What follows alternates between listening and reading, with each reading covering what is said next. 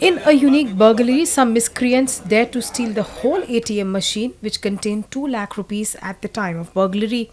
Police said that the investigations were being carried out on the basis of CCTV footages. In a unique theft, the burglars did not steal money from the ATM but extracted the entire ATM machine and fled away. Police said that the gangsters who had come in a Qualis car had first damaged the CCTV camera.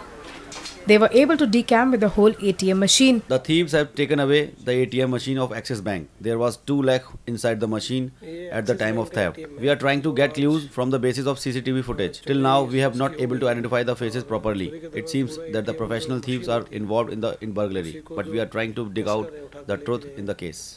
According to the cops, the gang must be consisting of at least 5 to 6 people, though there is no eyewitness in this incident. This is the second biggest incident of ATM theft in Vadodara.